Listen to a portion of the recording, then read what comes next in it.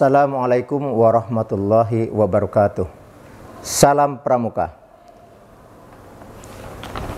Saudara-saudara sekalian yang saya cintai, pada kesempatan kali ini saya akan menyampaikan hal-hal yang menjadi bagian dari bagaimana puasa itu menjadi lengkap bagaimana puasa itu menjadi sah, bagaimana puasa itu menjadi uh, sempurna untuk dikerjakan oleh kita. Yang pertama, saya sampaikan bahwa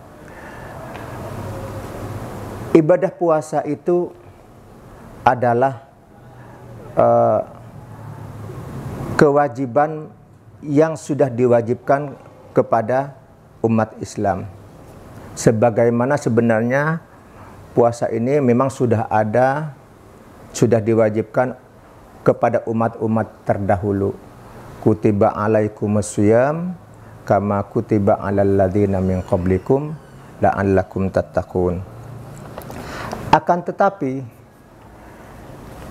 ternyata di ayat itu hanya kutiba alaikumusiyam. Hanya diwajibkan kepada kita berpuasa. Kutiba alaikumusiyam. Kama kutiba. Sebagaimana yang sudah diwajibkan kepada umat-umat terdahulu. Pada ayat yang lain ya ayyuhalladzina amanu. Maka kata-katanya adalah yang diwajibkan adalah panggilannya nida nidaunnya adalah ditujukan kepada orang muslim. Maka syarat pertama untuk seseorang mau berpuasa harus Islam dulu. Iman dalam keislamannya itu dia beriman kepada Allah Subhanahu wa taala.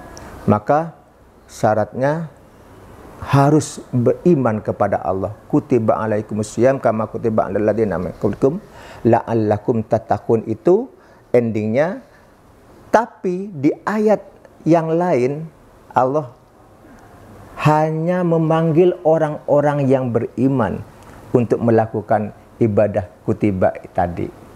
Ibadah puasa tadi. Yang kedua, jadi Syarat yang pertama adalah Islam.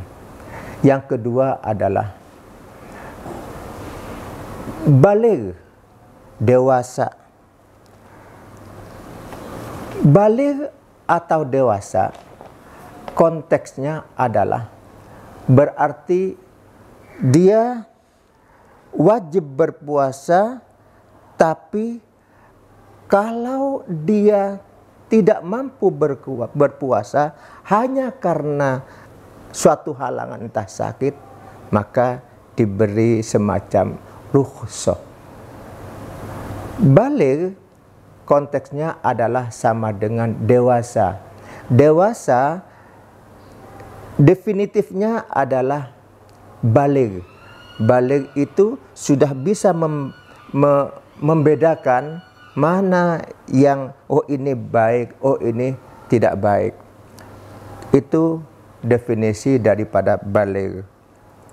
Sedangkan yang ketiga adalah syarat yang dipenuhi harus orang itu berakal.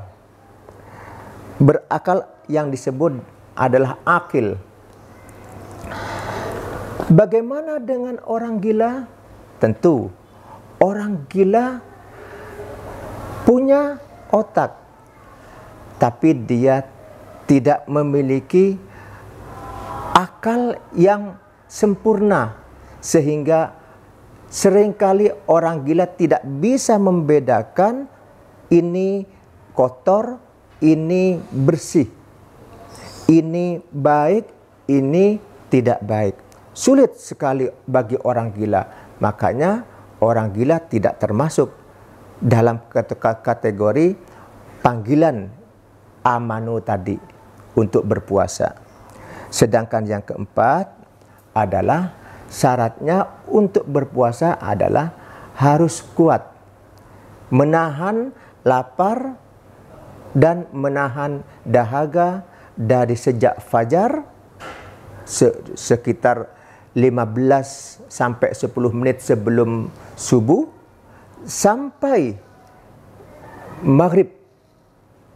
Nah, kalau di situ seseorang sudah bisa melakukan uh, menahan makan dan minum itu, maka jangan lupa sebelumnya harus diniatkan walaupun kita menahan lapar dan dahaga, tapi kita tidak melakukan niat sebelumnya, maka tidak punya nilai apa-apa, tidak punya nilai ibadah puasa.